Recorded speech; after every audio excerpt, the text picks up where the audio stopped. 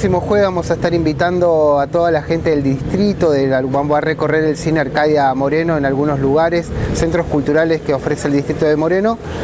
Vamos a proyectar, eh, vamos a estar dando la proyección, perdón, mejor dicho, eh, Dragon Ball Z Superhéroe, la nueva que salió. esa está muy buena. Esa película va a recorrer eh, varios puntos de nuestro distrito llevando esa propuesta cultural, que es la propuesta Arcadia Moreno, con el concretamente con el cine manga anime.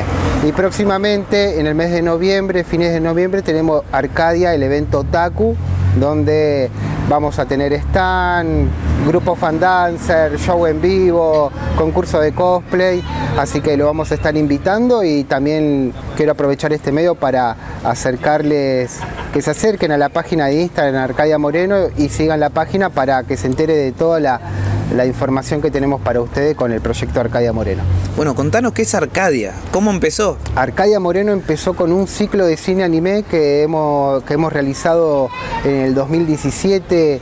Eh, el primero fue en la Casa Joven de Casasco, de ahí ese ciclo de cine se empezó a hacer mensualmente y lo llevamos a cabo desde el 2017 hasta el día de hoy proyectando más de 50 películas de lo que es el género otaku, manga, anime eh, que ha recorrido también el distrito, pero lo hemos estado encabezando mucho acá como punto de encuentro en la Casa de la Cultura. Arcadia Moreno es un proyecto cultural otaku, donde abarcamos todas las culturas japonesas, sea el manga, el anime, el comet y lo gamer.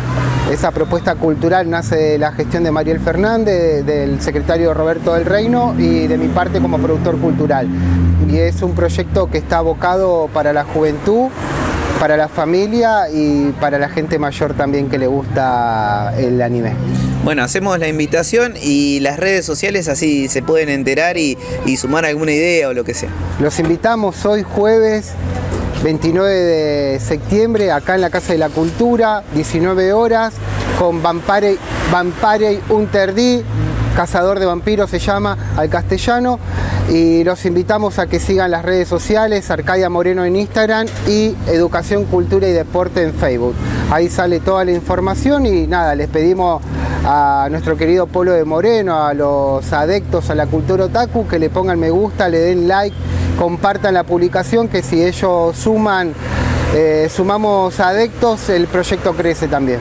¿Y traer pochoclos y puflitos? No, los pochoclos los ofrece gratis la Casa de la Cultura que son donaciones que nos da la esa, calecita. Esa no la sabíamos, muy buena esa. Eh, nos da la calecita de Moreno, un mundo de sonrisa, nos auspicia los pochoclos para todos los invitados que vengan a, ver la película. Totalmente gratis, también tenemos té, mate cocido y café para los más grandes.